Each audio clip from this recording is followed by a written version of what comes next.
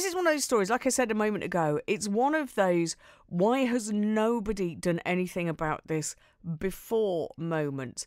Um, lying on a toilet floor, it's not something you should subject anybody to. Everybody needs uh, a bit of uh, of dignity, and that is what happens in some cases to people who um, are a little bit older than babies who need to be changed. To tell us a little bit more about it, uh, I'm joined in the studio by Emily Naismith uh, from Warwick. Morning, Emily. Thank you so much for coming in. Tell us about the No More Floor campaign. I tell you, I lament the lack of changing facilities generally.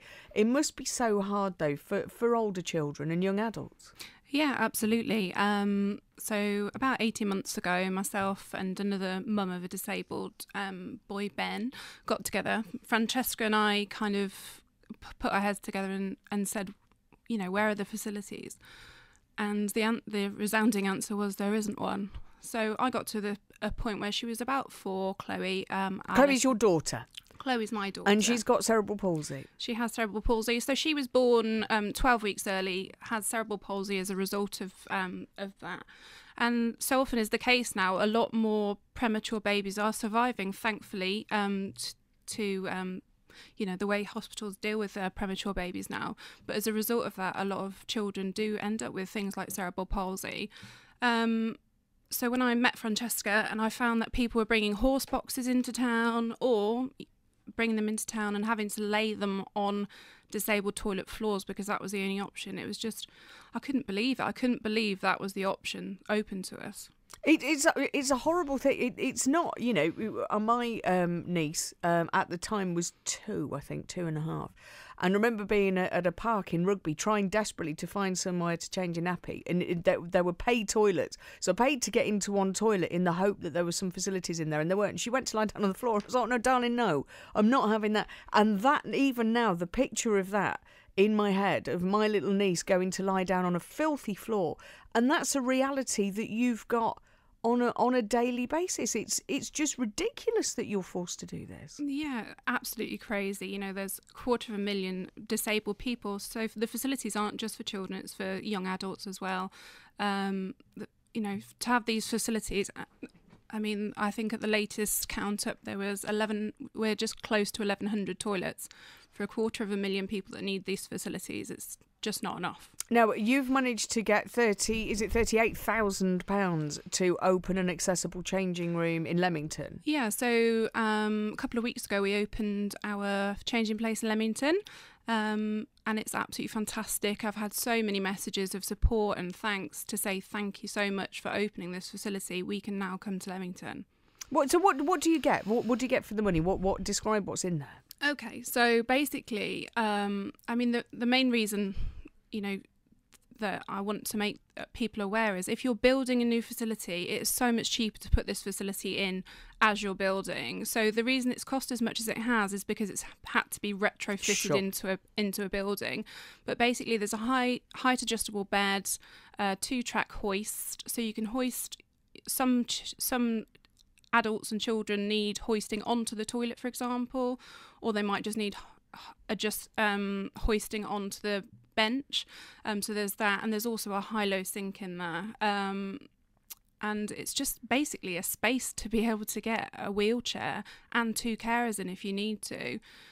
You know, in a normal disabled toilet, there's just not that room. No, and, and this what a, what a difference this will make to to Chloe, your daughter, and to other people.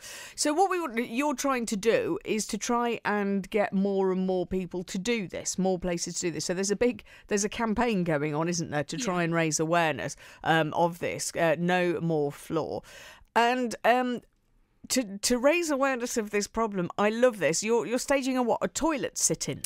Well, um, a friend, a friend that I've come across through this Changing Places campaign, uh, Sarah Brisdion, is having a luathon. okay, well, look, I think we should all be having more luathons. Sarah joins us on the line now. Good morning, Sarah. Hello. Good morning, and Emily can hear you as well, which is uh, which is nice and helpful too. So, tell us about your uh, your luathon. What are you doing? Yes, it sounds a bit bonkers, doesn't it? Um, I've been campaigning like Emily in my locality for a long time now, um, with I have a very similar story. My son was also born um, 12 weeks premature, um, has cerebral palsy, is a full-time wheelchair user, so he has um, pretty much the same needs as Chloe. Um, so I've been doing this for a while, and I have been very lucky that lots of people have been helping and trying to support me. I've had an offer from um, a lovely uh, bath and toilet company to let us sit um, in their shop window, basically on the toilet. So um, sit, sitting on the loo. and- day. Wow, wow. So you'll be sitting on the loo in a shop window for a whole day. And, and what are you hoping this will make people do? we, we just want to raise awareness essentially um, and obviously get some media coverage. It's going to be quite unusual for people to walk down the high street and see us sat pants down in the window. In Um, London. in London, yeah, exactly. So it's just really a way of trying to show everyone that one, we know we all need to pee. Everyone has to do it. You know, you can't get away without peeing in some way, shape, or form.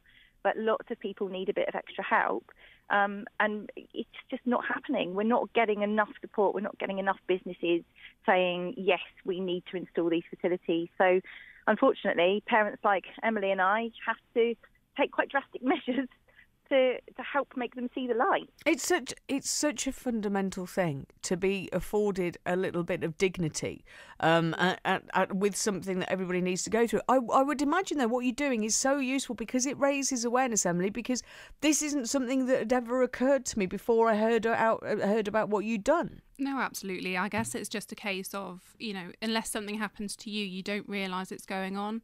Um, a lot of the people I spoke to when I approached them um, said, I had no idea. You know, I think people, you know, me included, live in a kind of bubble. You don't expect an 18 year old man to be in continence products and like a 40 year old woman having to lift that said 18 year old man onto the floor to change those continence prob- products. So, unless you're kind of in that situation, you just don't think about it. So, yeah, along with Sarah and many, many others, we're going to be campaigning until we get these facilities put in into places. How are you feeling about sitting in a uh, in a shop window on the loo? Uh, yeah, nervous. You'll be fine. It'll just it'll be it's that psychological thing. What happens if you get caught short? And it's just that there might be a temptation there. So be be wary of that. But you're hoping this is something that will be taken seriously. Sarah, has there been much of a reaction from the powers that be? Yeah, and there has. Um, it, we're slowly getting traction, and since I did a I did a similar thing over Christmas, and I took a a toilet selfie every day over Christmas and posted it on social media, which got a lot of people talking, and that's kind of where this Lewathon has come. Um, we're taking it to a bit of another level. Um, people are starting to come up, and businesses are contacting us and saying we hadn't heard about this. You know, what do we need to do? So we are we are slowly getting there. Um, but it's still, I think there's still such a long way to go. We've got to keep our foot on the gas, really. Absolutely. Well, I wish you the very best of it because this is the only loo like this I've heard of. The one in Leamington. Is it the only one that's local? Um, we've got one in Leamington, one in Warwick. There are quite a few, but Warwickshire is um, not got as many as a lot of other locations. We need them. It's as simple as that. It's such a, as a simple thing that would make such a massive difference to loads of lives. Emily, thank you for joining us today on the show, and to uh, to Sarah as well. Very best of luck with the campaign.